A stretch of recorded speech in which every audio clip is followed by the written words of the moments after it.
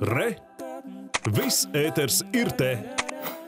Kvoruma trūkuma dēļ saima šodien atlika civilās savienības likuma projektu izskatīšanu galīgajā lasīmā. Likums tapis pēc satversmes tiesas sprieduma un tā mērķis visu ģimeņu aizsardzība, to starp vienzimumu pāra attiecības. Saimas atbildīgā komisija turpinās iesniegt likuma projektu izskatīšanu nākamajās plenārsēdēs. Un turpina Madara Līcīte. Sākot skatīt likumprojektu, tika noraidīta opozīcijas deputātu priekšlikumi, atdot to atpakaļ juridiskajai komisijai vai atstāt vērtēšanai nākamās sasaukuma deputātiem. Jau izskatot likumprojektu pirmo priekšlikumu, atklājās, ka zālē nav reģistrējies nepieciešamais kvorums vismaz 50 deputāti. Situācija nemainījās arī pēc pārtraukuma izsludināšanas. Par 40 pret 0 atturas 1. Līdz ar to arī nav kvoruma. Balsojumā piedalījās deputāti no jaunās vienotības konservatīvajiem un attīstībai par, bet nebalsoja Nacionālās apvienības zaļo un zemnieku savienības saskaņas un atsevišķi ārpus frakciju deputāti, lai arī atradās sēžu zālē.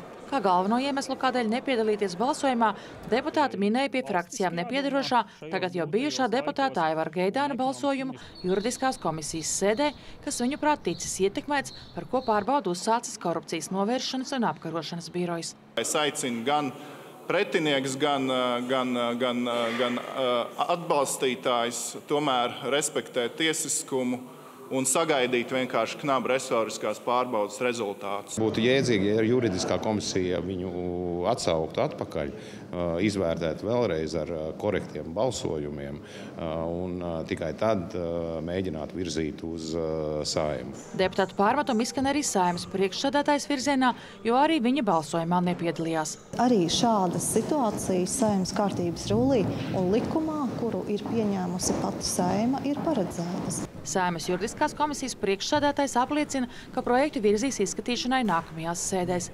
Tomēr citi deputāti atzīst, ka projekta pieņemšana šīs saimas laikā būs ļoti apgrūtinoša. Ja saima nav spējīga aizpildīt ar likumiem šo satversmes tiesas spriedumu, tad tiesa būs tā, kas lems un izpildīs to darbu saimnes vietā. Civilā savienība risina, manuprāt, sabiedrībai ļoti svarīgs jautājums. Nu, mēs zinām, ka šobrīd lielākā daļa bērnu patiesībā dzimst ārpus laulības šobrīd Latvijā. Parlamentu uzdevums atrast kādu vienošanos, un es ceru, ka kolēģi arī tā to uztver. Likuma pieņemšana būtu svarīgs solis uz priekšu, lai varētu izpildīt satversmes tiesas nolēmumus un paustos secinājumus par kopdzīves atzīšanu no valsts puses. Šāds regulējums ļautu cilvēkiem, kuri nav laulāti, izmantot civilo savienību, tajā skaitā vienzimumu pāriem, kuriem Latvijā nav atļauts noslēgt laulību.